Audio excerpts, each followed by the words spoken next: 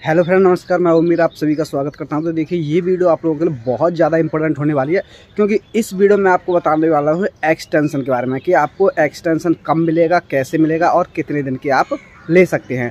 तो देखिए, सबसे पहले मैं आपको बता दूँ, जैसे आपके पास ज्वाइनिंग लेटर आएगा और आप ज्वाइनिंग के लिए जाएँगे तो आपको एक डिवीज़न अलॉट होगा और जो आपको डिवीज़न अलॉट होगा, आप वहाँ पर जाएँगे और वहाँ पर आपका नॉर्मली डॉक्यूमेंट वेरिफिकेशन फिर से होगा तो वहाँ आपको करना क्या है? वहाँ आपको एक एप्लीकेशन लिख देनी है। देखिए, जैसे कि आप ग्रेजुएशन सेकेंड ईयर में हैं ग्रेजुएशन फाइनल में हैं, या आप पोस्ट ग्रेजुएशन कर रहे हैं। देखिए, ये कंप्लीट करना आपके लिए बहुत ही ज़रूरी है। क्यों ज़रूरी है? क्योंकि देखिए, अगर जैसे कि जीडीसी एलडीसी कोई भी एग्ज़ाम निकलता है स्टेशन मास्टर या फिर गोड्स गार्ड की तो फिर वहाँ पर आपको फ़ायदा मिल सके। तो इस तो इसलिए सबसे ज़्यादा ज़रूरी है कि आपको अपनी ग्रेजुएशन कंप्लीट जो भी आप पढ़ाई कर रहे हैं, आपको वो कंप्लीट करनी है, तभी आप रेलवे में परमानेंट ड्यूटी करें तभी आप रेलवे में ज्वाइन करें। तो, तो सबसे पहले आप क्या करेंगे जैसे ही आप ज्वाइनिंग के लिए जाएँगे तो वहाँ पर आपको एक एप्लीकेशन लिखनी है और एप्लीकेशन में आपको लिखना क्या है? आपको ये लिखना है कि मैं ग्रेजुएशन के सेकंड ईयर में हूँ थर्ड ईयर में हूँ या पोस्ट ग्रेजुएशन कर रहा हूँ और मैं ये कंप्लीट करना चाहता हूँ। आपको जेन्यून जो भी रीजन है वो आपको लिख देना है।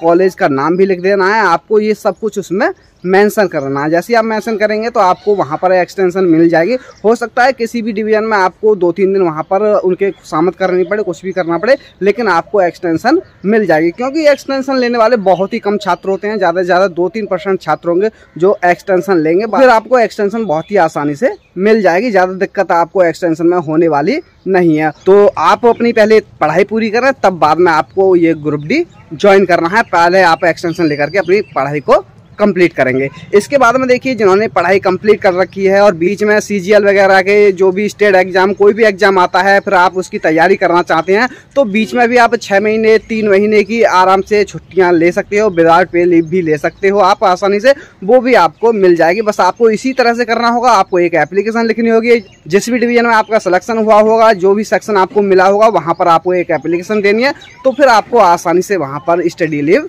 मिल जाती तो देखिए जब आप विदाउट पे लीव लेंगे तो वहाँ पर आपकी सैलरी नहीं बनेगी वहाँ पर आपको कोई भी पैसा नहीं दिया जाएगा। और देखिए आप एक्सटेंशन देखिए आप बाद में भी ले सकते हैं कभी भी एक्सटेंशन ले सकते हैं। ये नहीं है कि आपको ज्वाइनिंग के एक दिन बाद लेनी पड़ेगी या ज्वाइनिंग पर ही लेनी पड़ेगी या ज्वाइनिंग से पहले लेनी पड़ेगी।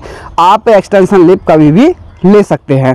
और देखिए मैं आपको बता दूँ कि आपको यूनिफॉर्म जो आपकी ड्रेस है रेलवे ग्रुप डी की जो ड्रेस है, वो आपको पहले ही बनवानी पड़ेगी या फिर आप ज्वाइनिंग कर लेंगे, तब बनवानी पड़ेगी। तो देखिए, मैं आपको बता दूँ, आपकी ज्वाइनिंग हो जाएगी तो आप ज्वाइनिंग करना, आराम से ड्यूटी करना, कोई दिक्कत नहीं है। देखिए, जब आपकी सैलरी आ जाएगी तो देखिए, जैसे ही आपकी सैलरी में ड्रेस के पैसे लग करके आ जाएँगे, तब आपको ड्रेस बनवानी है, फिर आपको ड्रेस पहनना अनिवार्य हो जाएगा, आपको फिर ड्रेस में ही ड्यूटी करनी होगी। लेकिन जब तक आपके पैसे लग कर नहीं आते हैं ड्रेस के, जब तक आपको रेलवे की तरफ़ से ड्रेस नहीं मिलती है तब तक आप बिना ड्रेस के ड्यूटी कर सकते हैं। यानी यही बात थी कि आपको एक्सटेंशन कब लेनी है कैसे लेनी है ये आपको क्लियर हो गया होगा कि आपको एक्सटेंशन कब मिलेगी कैसे मिलेगी आपको केवल केवल एक एप्लीकेशन लिखनी है वो ड्रेस कब से पहननी है ये भी आपका डाउट क्लियर हो गया होगा। तो देखिए इस वीडियो में बस इतना ही। अगर आपका कोई भी और भी कोई डाउट हो तो आप कमेंट में पूछ सकते हैं मैं उस पर भी आपको वीडियो बना के बता दूँगा, आपका कोई भी डाउट होगा, वो डाउट क्लियर हो जाएगा। तो इस वीडियो में बस इतना अगर वीडियो अच्छा लगा हो तो वीडियो को लाइक शेयर ज़रूर करना। और जो मेरे चैनल पर नए जुड़े हैं, चैनल को सब्सक्राइब ज़रूर करना। तो थैंक यू धन्यवाद। जय हिंद, जय भारत।